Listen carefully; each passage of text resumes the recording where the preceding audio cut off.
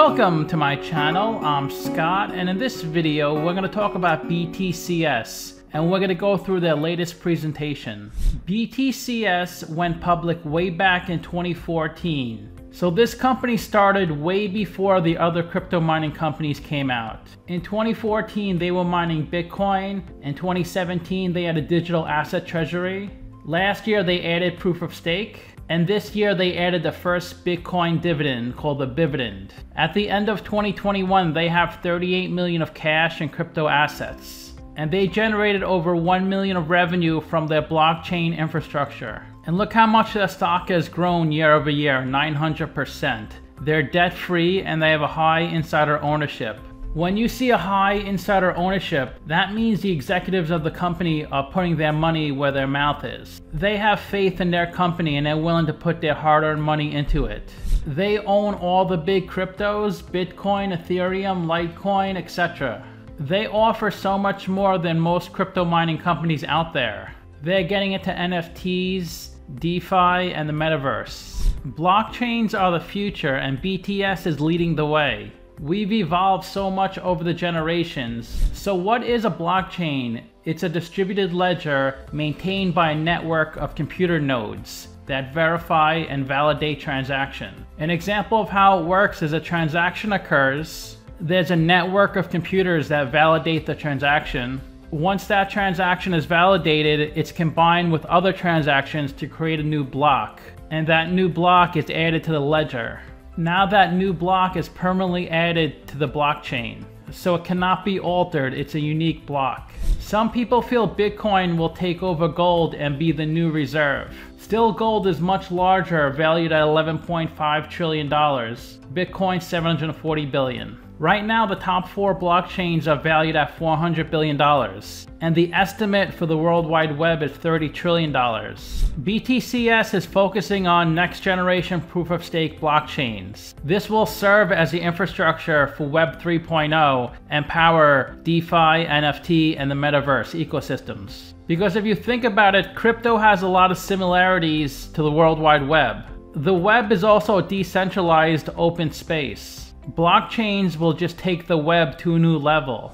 DeFi, NFTs, and the metaverse all utilize smart contract based blockchains. And that's where it seems like things are headed right now, and this company is on top of that initiative. And proof of stake is so much more efficient than proof of work. Bitcoin uses proof of work, Ethereum uses proof of stake. I'll explain what proof of stake is later on. Then there's delegated proof of stake chains like Cosmos, Polkadot, and Cardano. And this company is planning on integrating that into their platform. This slide shows us the company's business model. BTCS secures proof of stake blockchains to power DeFi, NFTs, and metaverse. They earn revenue by staking their digital assets. So if you have Ethereum, you could sign up to BTCS and stake your Ethereum and let your crypto work for you. The company's investing in technical infrastructure on leading blockchains. You can see them below. What I really like about this company is they provide a one-stop shop for everything. If you have crypto portfolios in different places, you can put it all together on their platform and view it in one shot. You could bring all your crypto together in one place, run validator nodes, and boost your revenue by scaling and growing. And of course, this company makes money by taking a small operator fee. So what is staking? So instead of having your crypto just sit there and not earn anything, Similar to your cash just sitting in your savings account, you could stake your crypto and earn more crypto or earn a little cash from that staking. A good example is staking is like locking up your assets in a bank account. And the crypto is not locked up forever, it's for a short term, however long you want it, and you can earn a little interest on that. The way you earn money on your crypto is it's used to validate transactions on the blockchain the more crypto you have, the more transactions you can validate. And this company will do all that for you.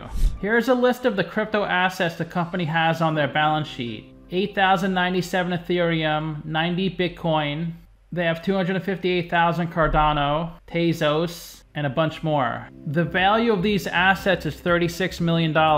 But if you look on their balance sheet, it only says 12.3 million because cryptocurrency assets are considered long-lived intangible assets. So they're carried on the balance sheet at their lowest cost. So if you bought one Bitcoin for $40,000, then next quarter the price of Bitcoin was $30,000, you have to report $30,000 on your balance sheet. Let's say the following quarter Bitcoin was $50,000 you have to report it at the $30,000 at the lowest dollar amount, even if it gets up to a million dollars a coin. You can never increase the value of your Bitcoin while you hold it. If you buy more Bitcoin, of course you can increase the value, but you have to carry each Bitcoin at the lowest value it was worth while you held it. But when you sell the Bitcoin, then you report all the gains on your income statement. It's similar to land. If you buy a piece of land in New York City in 1900 for $10,000, your balance sheet would say $10,000. Even if today that piece of land is worth a billion dollars, your balance sheet would still say $10,000. All long-lived intangible assets have to be reported the same way. You could see how much their portfolio has grown. It was under 1 million for a few quarters. Then in Q2 2020 it broke through 1 million then 4 million at the end of 2020, and it grew nine times from this point to the current quarter. It even says right here, US GAAP requires us to carry our digital assets at their lowest value since acquisition. Look at all the blockchains secured by BTCS, Ethereum, Tezos, Cosmos, Avalanche, and Bitcoin is not on this list because it's proof of work, not proof of stake there's a lot less flexibility with Bitcoin than these other types of cryptocurrencies. And this is what I love about this company, this one-stop shop dashboard. You can consolidate all your crypto portfolios across multiple exchanges. You might have some crypto in Coinbase, maybe some in Kraken, and it gets really confusing. You can view all your crypto on one screen using this company's platform.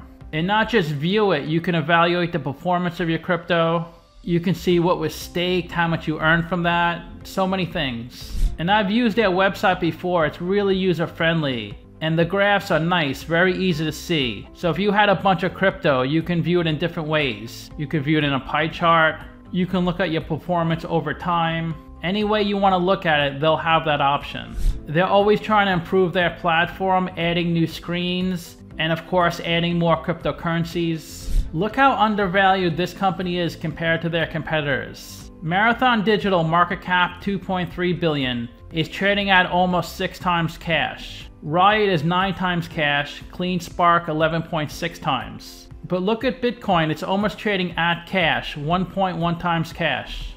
Its market cap is so low, only 42 million. It's a fraction of these other market caps.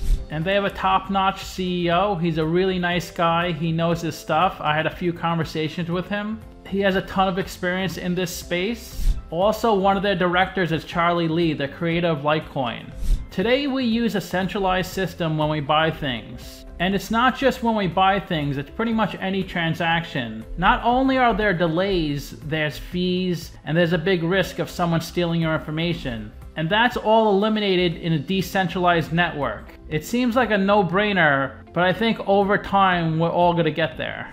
The way a blockchain works is say a transaction occurs. That transaction is broadcasted to a peer-to-peer -peer network that consists of computers, or nodes. The nodes use algorithms to validate the transaction, and the transaction could be anything. It could be cryptocurrency, it could be a contract, it could be anything then that transaction is combined with other transactions once it's verified. And a new block is created. And that block is added to the existing blockchain ledger, which makes it permanent. Nobody can change it. And that's the whole process. The transaction is complete.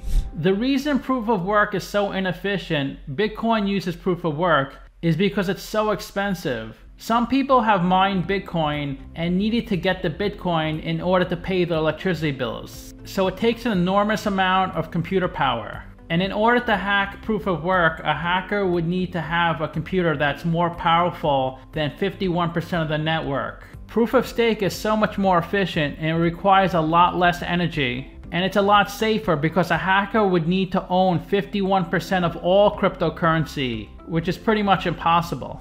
I like this graph, it visually shows you how things are evolving. In 1969 was the first computer message, in 1972 email started, But that took until 1991 until people like me and you can use the internet. I started using the internet in 1993. I remember using CompuServe and Prodigy to talk to people around the world. That was before AOL. Then things really stepped up with Google and MySpace. 2009 was the first Bitcoin transaction. In 2015, Ethereum was released. In 2018, big companies were working on blockchains like Walmart and Microsoft. You can see it took 20 years for the internet to transition from proof of concept to mass adoption, from the early 70s to the early 90s. Bitcoin came out 13 years ago, and that's the proof of concept.